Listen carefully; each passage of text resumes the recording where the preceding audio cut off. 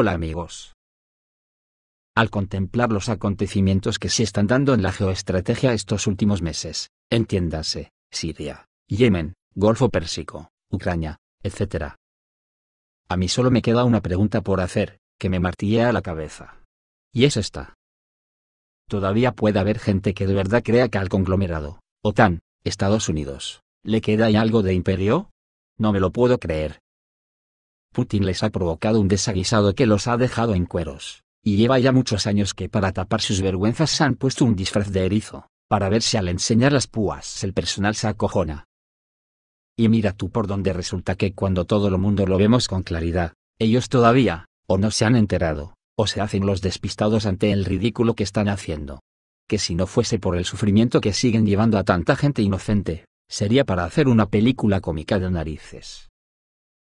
La última gran cagada del imperio, o al menos así lo espero que sea la última, ha sido la declaración de guerra que Inglaterra le hizo a Irán cuando detuvo en aguas españolas un petrolero iraní, alegando que estaba bajo sanciones de Estados Unidos. En aquel entonces el asunto no tenía ni pies ni cabeza, en primer lugar porque el mundo ya está harto de sanciones arbitrarias, y ya veremos lo que podría pasar si las sanciones empiezan a ser decretadas por otras naciones contra barcos y bienes del imperio.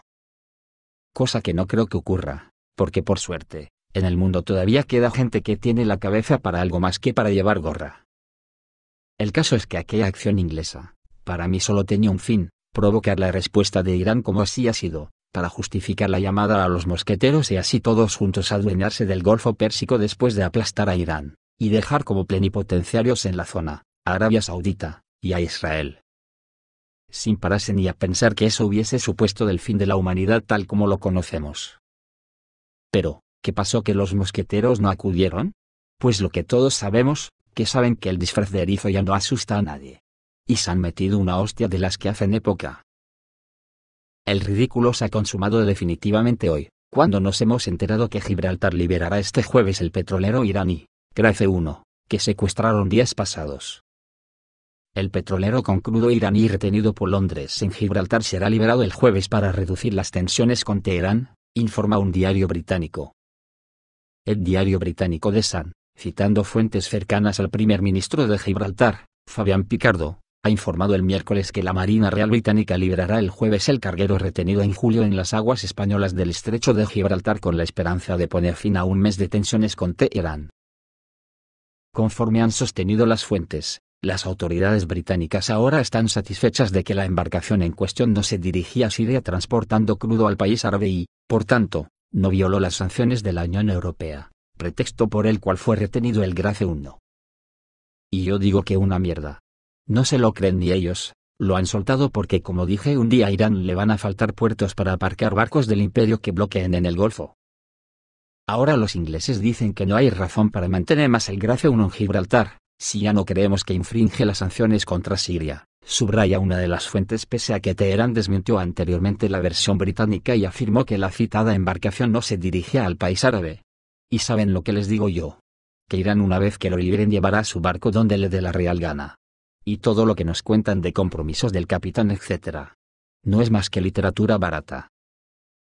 Porque según añade el diario, se cree que el capitán del barco se comprometió por escrito de que el destino final del barco no era Siria y, por ello, el premier Picardo, no le pedirá al juez, encargado del caso, a que extienda su detención por más tiempo durante una audiencia que tendrá lugar este jueves. No hay razón para mantener más el Grace 1 en Gibraltar, si ya no creemos que infringe las sanciones contra Siria, subraya una fuente cercana al primer ministro de Gibraltar, Fabián Picardo. Tras la detención del petrolero y la postura tomada de Londres al respecto, que generó más tensiones en la región, la Fuerza Naval del Cuerpo de los Guardianes de la Revolución Islámica de Irán capturó el petrolero de bandera británica, este Pero, en el estrecho de Hormuz por infringir varias normas internacionales de navegación. Y les dijo, que ¿Seguimos secuestrando barcos? ¿Pero a quién quieren engañar esta gente a estas alturas de la película? Lo que ocurre que los mosqueteros ya no son lo que eran, son el reír del planeta y sino que sigan secuestrando barcos con el pretexto de que van a Siria o a países sancionados. Miren, lo tienen fácil. Hoy mismo un enorme carguero ruso, repleto de tanques para el ejército sirio, está atravesando los estrechos de Bósforo y el de Dardanelos rumbo a Siria. ¿por qué no le dicen al mosquetero Erdogan, que lo detenga? Me parto el culo de risa. Un barco ruso que probablemente transporta un gran suministro de tanques y vehículos blindados está actualmente en camino a la ciudad portuaria siria de Tartus, dijo el observador naval marítimo Yoruki Isik el lunes. Según Isik, el barco ruso, el buque de desembarco Azov 151, clase Ropucha, ha transitado por el estrecho del Bósforo en ruta hacia el puerto de Tartus, en el oeste de Siria. Esta última entrega de la Marina rusa llega al mismo tiempo que el ejército sirio avanza imparable por el sur de la provincia de Idlib. Rusia ha aumentado recientemente sus entregas de suministros de armas a Siria desde el comienzo de esta operación militar. Esto ha demostrado ser muy importante para el ejército sirio, ya que la pérdida de equipos militares ha sido rápidamente reemplazada. ¿Alguien tiene noticias de que algún barco ruso del Syrian Express haya sido bloqueado por alguno de los mosqueteros? Lo único que sabemos es que el mosquetero Erdogan, esta pieza en polvorosa saliendo de Idlib, a toda leche para que no le pille el aplastapiedras del ejército sirio y ruso, que ahora mismo están desalojando a todos los del Estado Islámico de los que el mosquetero Erdogan se servía para pillar cacho en Siria. Aunque también podría ser que Erdogan ya no sea un mosquetero, porque se lee de todo por ahí, y lo último es que las puertas de Idlib están abiertas de par en par, y los turcos obligaron a los Estados Unidos a retirarse, desde los frentes de las batallas contra el enorme enclave de terroristas en las provincias sirias de Hama y Idlib, se han recibido informes cada vez más optimistas. En los últimos días y horas, el ejército árabe sirio ha ocupado varios pueblos al oeste de la ciudad clave de Khan Desde la altura de Tal As, esta vez una de las principales fortalezas de los militantes del grupo terrorista Jebat al-Nusra, y del grupo de los cascos blancos creado por la inteligencia británica ya es visible. Recordemos que fue en Kanseikun donde este grupo, estrechamente afiliado a la organización terrorista reconocida por las Naciones Unidas, Jebat al-Nusra, organizó una de las actuaciones más grandes de su tipo, acusando al gobierno sirio de un ataque químico contra civiles. La pérdida de este enclave allana el camino para una investigación objetiva de ese incidente.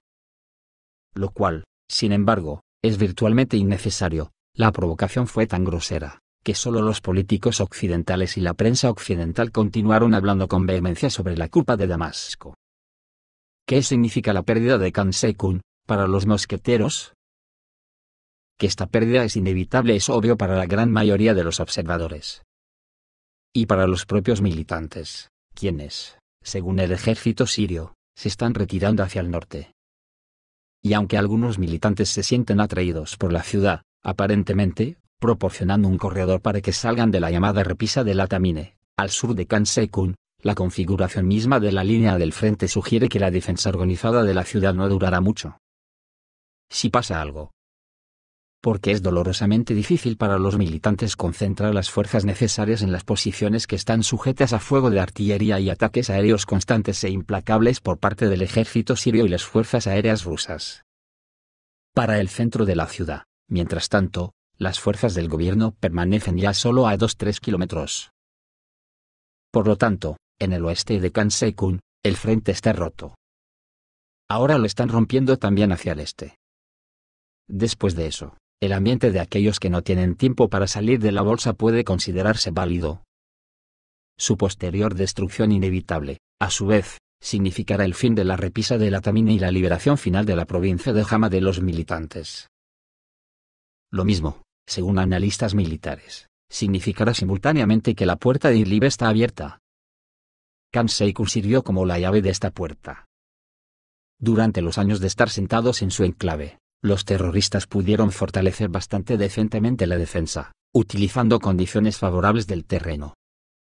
Con el resto, en general, la preparación para el combate bastante moderada de la parte principal del ejército sirio, fue posible romper esa defensa durante mucho tiempo y fue muy sangrienta. La captura de Kansekun en direcciones convergentes hace una gran brecha en la defensa de Al-Nusra y, con el uso hábil de las circunstancias, permitirá que las fuerzas gubernamentales entren en el espacio operativo.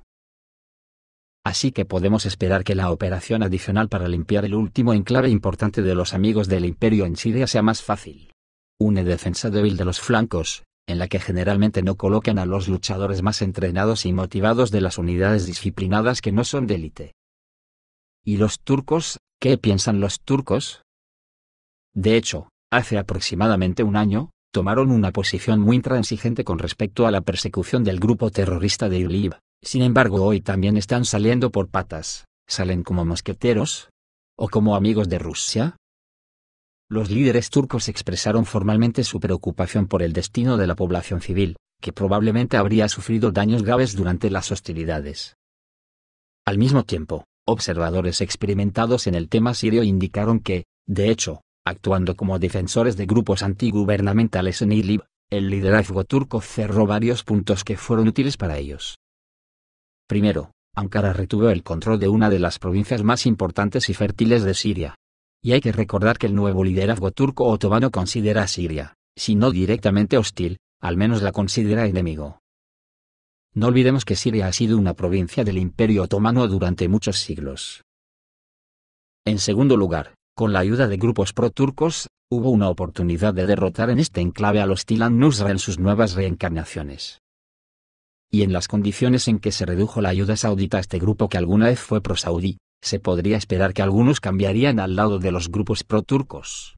Lo que produciría la separación definitiva de Idlib, de Siria. Y luego, una parte importante de los observadores tenía el sentimiento, de que Ankara se le prometió algo importante para que pudiera salvar su rostro y resolver el aburrido problema ella misma. Por lo tanto, muchos hoy con una sonrisa de satisfacción de que Turquía oficialmente reacciona de manera suave o muy lenta a lo que está sucediendo en el área del norte de Hama y Lib. Pero ¿qué se sabe del resto de los mosqueteros que empezaron este crimen de Siria? Ni idea, solo sé que Estados Unidos ahora mismo está más perdido en Siria que un pulpo en un garaje. Y ya no se sabe quién está del lado de quién entre ellos, los turcos en teoría mosqueteros, pero enemigos acérrimos de los kurdos, que a su vez son amigos de los Estados Unidos. De Inglaterra y Francia hace mucho que ya nadie sabe dónde se encuentra en sus comandos, y así antes de Mare Magnum, Siria y Rusia con Irán y Hezbollah pescando en río revuelto. Todo esto unido al palo que el imperio está recibiendo en Yemen, los combates entre Emiratos Árabes Unidos y Arabia Saudita, y que resulta que cuando Inglaterra llamó a los mosqueteros para controlar el Golfo, Resulta que los que acudieron a controlarlo han sido las armadas de Rusia, China, y de Irán. ¿Y ahora qué? ¿Quién es capaz de sostener que el imperio OTAN es un imperio? Yo desde luego no. Yo solo veo unos cómicos trágicos disfrazados de erizos. Esto es todo amigos, reciban un saludo.